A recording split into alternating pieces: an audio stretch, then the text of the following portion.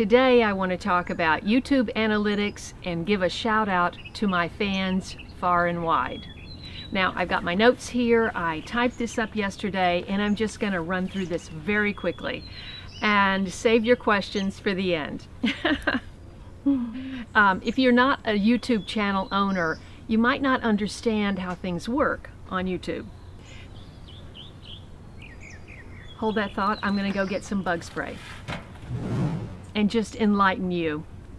YouTube, which is owned by Google, analyzes views by the countries which videos are viewed and the demographics of the viewer, namely the age and sex of the viewer based on your information that Google has obtained from you.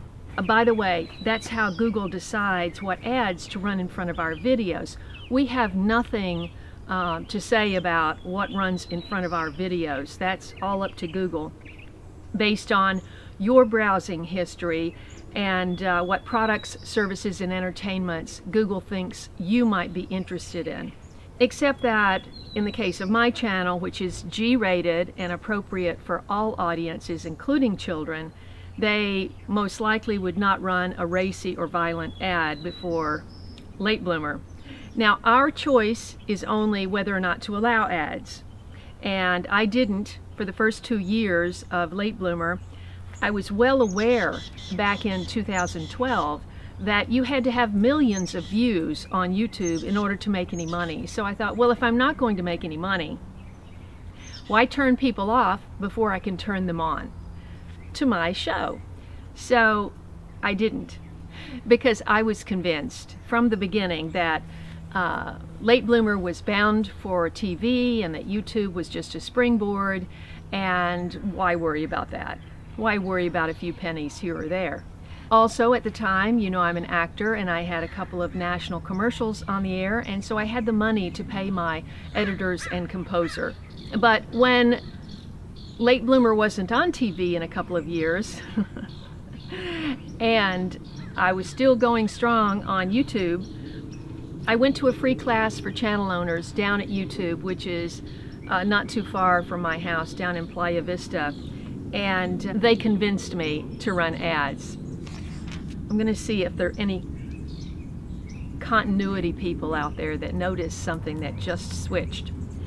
And by the way, if you click off those skippable ads that play before videos you're watching, the channel owner gets nothing. If you watch the ad, the channel owner gets a couple of pennies. And if you take action on the ad, if you click through to a website to find out more about what's in the ad, then we get a few pennies more. But we're still talking about pennies here. So that's why you have to have lots of subscribers and millions of views in order to make any kind of real money on YouTube. And a lot of people do some good friends of mine are making money. As you build your number of subscribers, and if you're in good standing, see, there's that gnat. Even with all this. As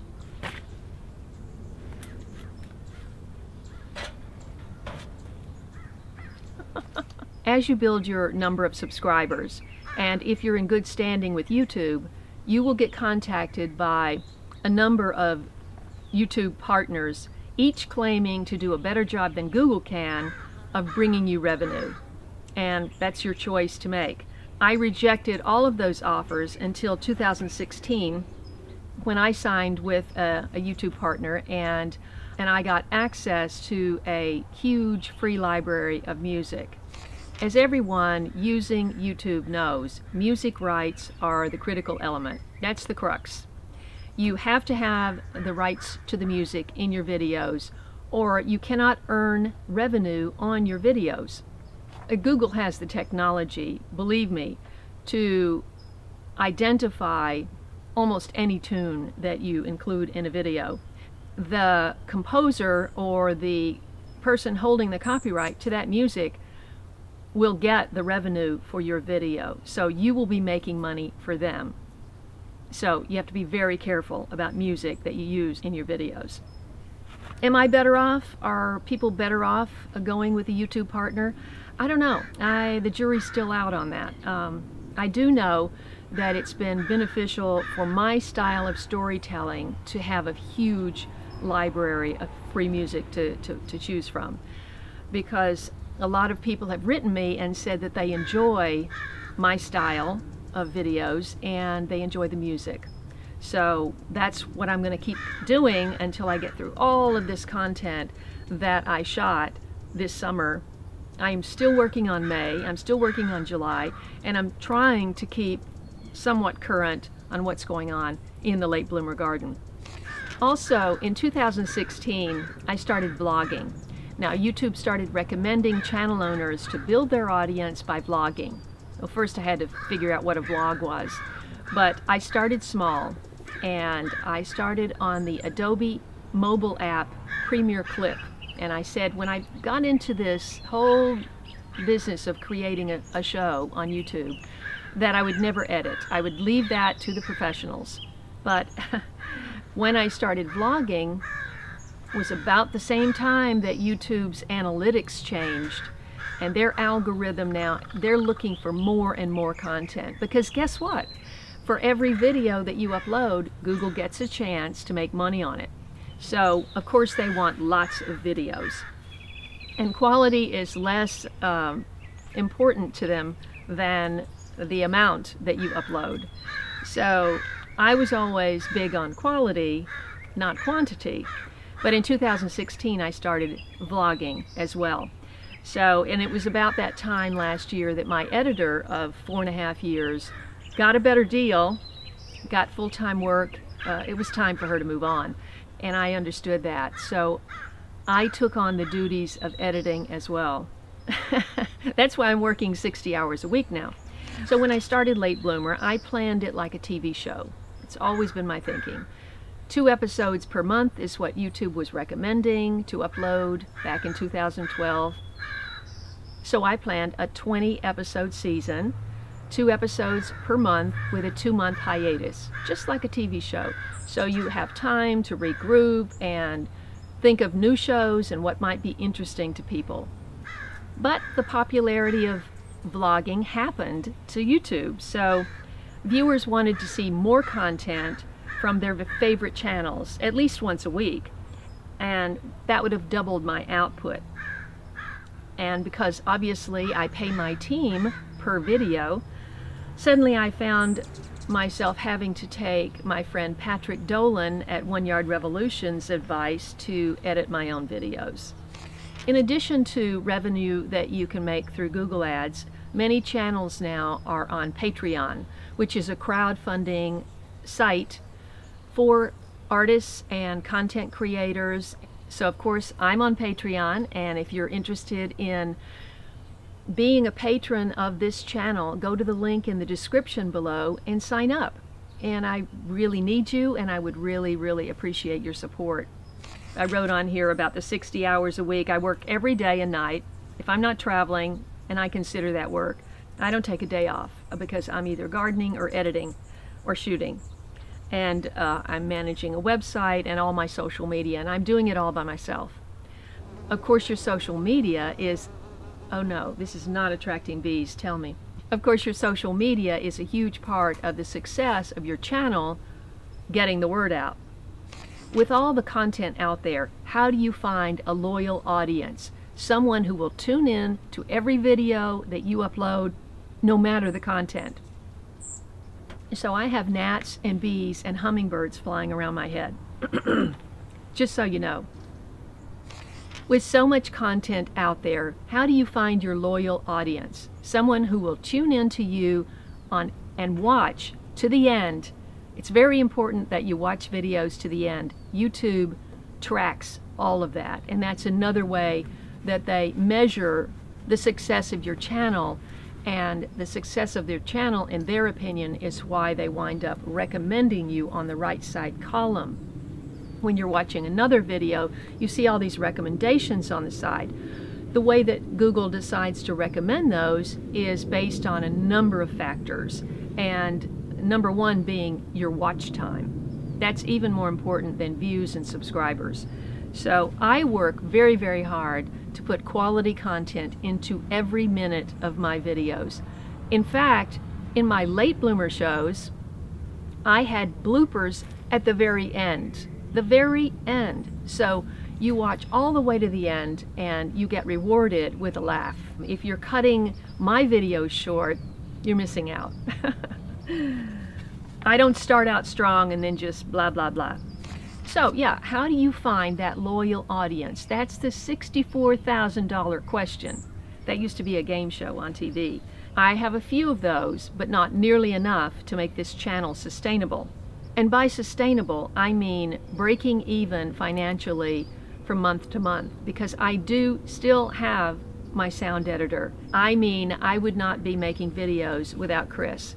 Not only does she bring her expertise to my videos, and you can hear the difference if you listen.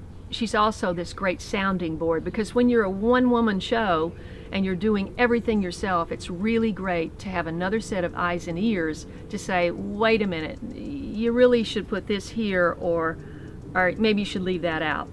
Uh, or this sounds, I can't fix this sound, very often happens when you're just running and gunning it, uh, which is what I do. Uh, very often the sound is um, not good. And believe me, people who say they'll fix it in post, this is a big thing that they say in the movie business when filmmakers are starting out. Oh, we'll fix the sound in post. Okay, let me tell you something. Sound is just as important as picture. In fact, maybe it's even more important because viewers will forgive a sloppy shot if the camera jangles or or you, you got a bad cut here or whatever. But if they can't understand what the person is saying, the words coming out of your mouth, they don't forgive that. When I went to see Pirates of the Caribbean, when it first opened. There's a line that Johnny Depp's character, Captain Jack or whatever, Jack Shadow, what, whatever, uh, his character says in close up at the very end of the movie. It's one sentence, like four or five words, and I could not understand what he said. I said, what, what did he say? It was like the punchline to the movie. I, I couldn't understand it. So maybe it was my ears, Disney, but um, still. Now, let's talk about my fans. I would not continue this work without my fans, and, and they're all over. Most of my viewers, obviously, are from the United States, and then there are the other English-speaking countries like uh, uh, UK, Canada, Philippines, Australia, and India. Then it gets interesting. Even though the numbers are very small, I have viewers in Indonesia, Malaysia, Vietnam, Brazil, Japan, Thailand, New Zealand, Macedonia. I'm going to have to look up where is Macedonia. South Africa, Saudi Arabia, Trinidad and Tobago, Netherlands, United Arab Emirates, Germany, Jamaica, Israel, Poland, Singapore, and Turkey. I, I mean, I just find that absolutely amazing a word I know I use way too much, but um, it's humbling to think that my attempt to inspire people to grow their own food, take back the responsibility of their food, and uh, be kind to Mother Earth is reaching such a wide audience. One of my oldest and best friends is from Trinidad, so I want to give a shout out to anyone watching in Trinidad and Tobago. I appreciate you and uh, I visited my fans in Netherlands this June so I really am grateful that they and the ones in Germany are watching.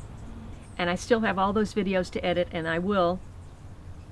And I used to have a young man named Conrad in South Africa who was watching. And I know a few gardeners on Turkey that write to me on Facebook. And I feel sure that Puerto Rico would be on this list had they not been devastated by Hurricane Maria. Right now, Puerto Rico is struggling. They have no electricity. They, they have no water.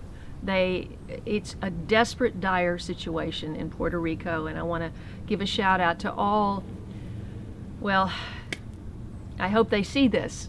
One of them, Viviana Del Manzano, the last I heard from Viviana, She had water, but her family didn't, and she was sharing her water with her family. I am very eager to hear from you, Viviana, and I hope that you are all well and safe.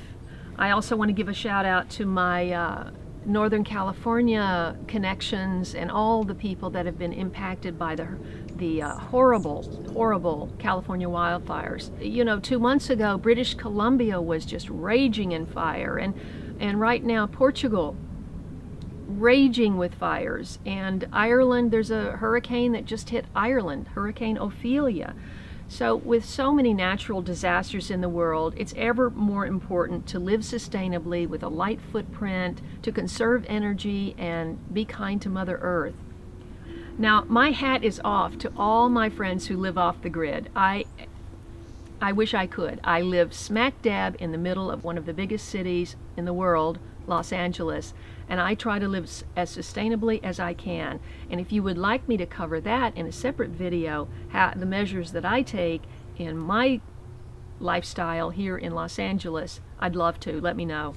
If you learned something and enjoyed this video, please give me a like. You have no idea how important that is, which is a thumbs up. Take a little moment to just click that thumbs up if you've enjoyed or appreciated the work that the content creator has done give a little like. That's a sign that we're doing we're on the right track and it's an encouragement. If you don't like the video or you didn't find it of interest, just simply go to another one.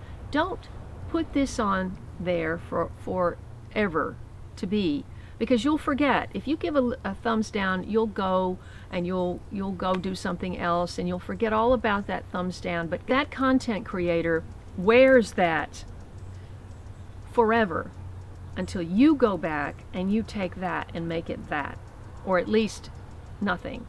So try to encourage your content creators, the, the ones that you enjoy their content, by giving them a thumbs up. Everybody asks for it, but it's really important because if you have nine likes on a video and you have one dislike, that means to YouTube you have a 90% uh, like rate or, or acceptance rate or and that 10% stays there until you get more and more of these. So then if you just have one down, it really throws your numbers down. You've got to have a lot more of these to build that back up to 91%, 92%, 99%. You can never get to 100%, never. Not with one thumbs down. So think about that the next time you think about giving a thumbs down. And please don't thumbs down this video. I'm just trying to inform you.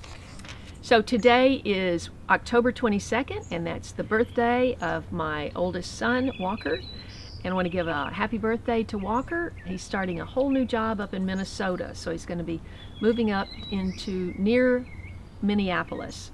So you may be seeing me in Minneapolis in the in the coming year. So my plan is to stay put and to edit straight through until Christmas. so I'm going to be working very hard to bring you the best possible content that I can do on my shoestring budget. So thank you so much for watching. I hope this was beneficial. If you want to know more, we'll go into YouTube a little deeper. Um, but just consider this YouTube 101.